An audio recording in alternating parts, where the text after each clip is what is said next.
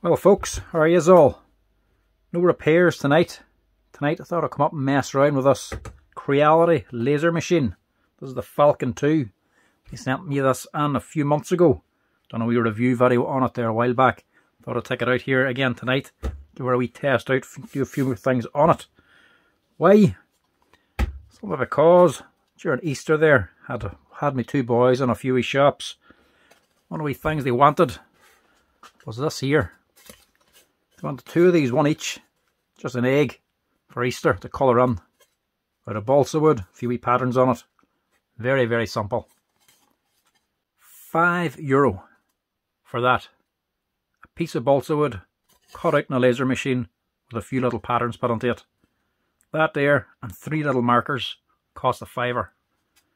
Unreal. So if you're ever wondering why people buy things like this, because they make money. Simple as.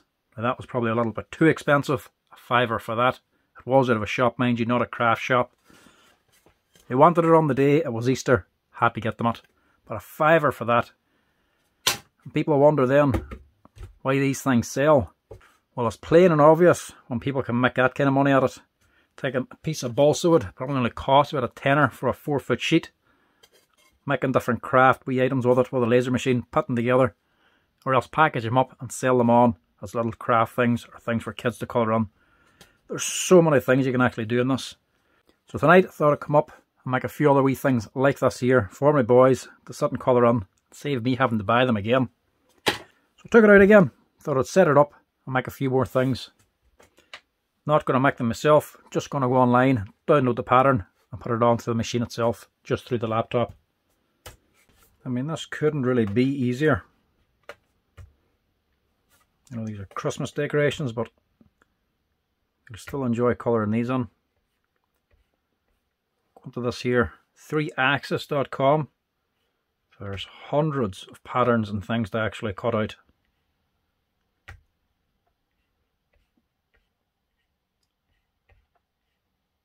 That downloads it for you. Saves it on. a couple of patterns we must cut out and try it out here. Just a couple of wee things for my boys to actually sit and colour on. There's loads of different things. Boxes, ornaments, decorations. There's lots of things just on site to download to actually make on one of these here printers. Or you can use software like Lightburn and make your own. But this time I'm not going to use Lightburn. I'm going to use this Laser GRBL. It literally is this simple. Open a file.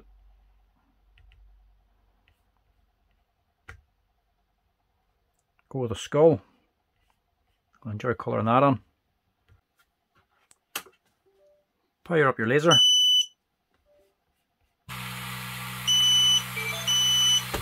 Connect it up.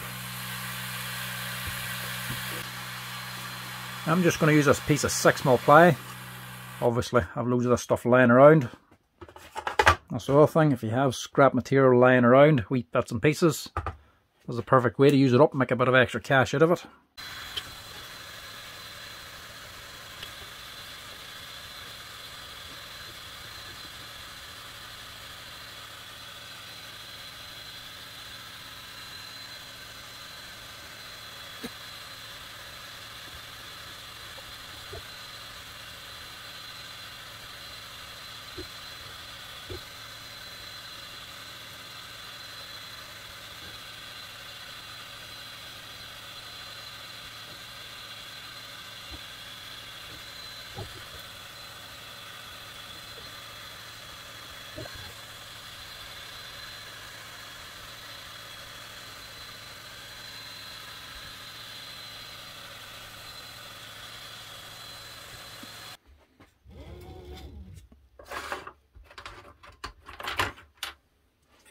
Look at that.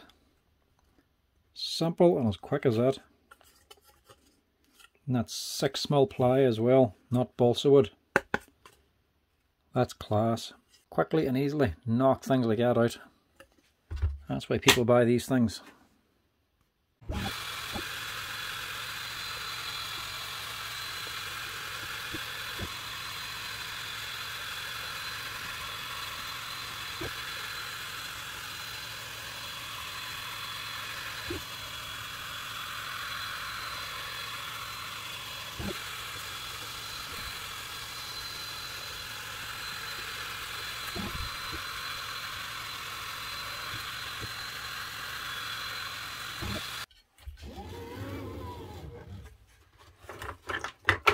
Look at that. And that took two passes, not just the one.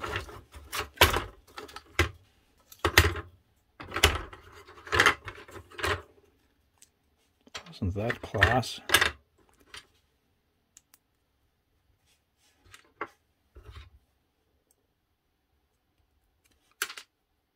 Little hinged box.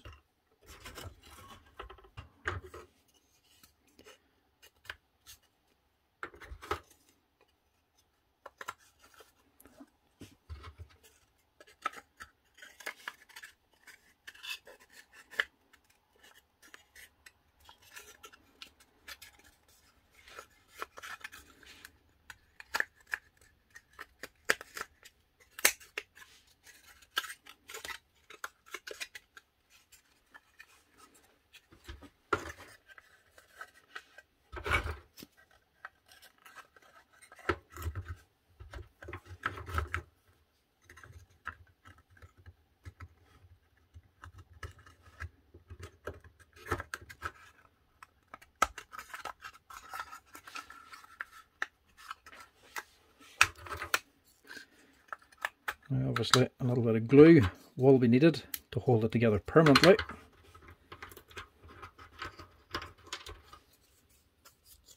That gives you an idea just how quick and easy you can actually make these things.